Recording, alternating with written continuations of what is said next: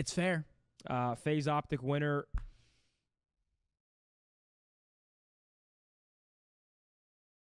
Ah, dude, it's. It, I mean, you have to put FaZe. Until we beat them, I think I agree. you have to put FaZe. It's until we win the farts, whatever you want to, whenever you want to call them. I think until we beat them, it's just we can't say that that we're gonna uh, that we're gonna win the tournament. I mean, simply we have to beat them at land. I do want to say, and I'll repeat it. I think we could beat FaZe this tournament. I think we're due. We're 0 6, but every single matchup is close. It's not biased to say that the top two teams in the world. It's not biased to say that the second place team could beat the first place team. I don't think so. I think FaZe is the favorite. As of right now, I think you need to put FaZe. Yes, I agree. I think you have to. It would be objectively wrong for us to say that we're going to go in and, and beat them. I mean, they haven't lost since. When's the last time they lost? They lost to LAG in, in Major 2 uh, qualifiers. They have not lost since then.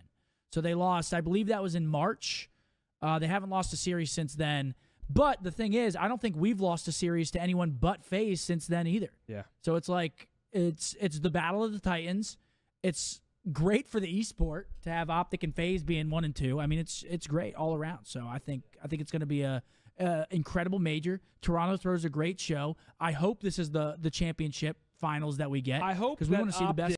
Is the winner instead of FaZe here. Obviously, I hope that after this we can come back and say, F- yes, we were wrong.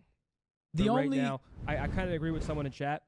I think FaZe's form has like stayed dominant, whereas like we had matches where it's like, what are we doing? I yeah, the like Boston, FaZe, the Boston match. FaZe has had no missteps. Like FaZe yeah. has been dominant every step of the way.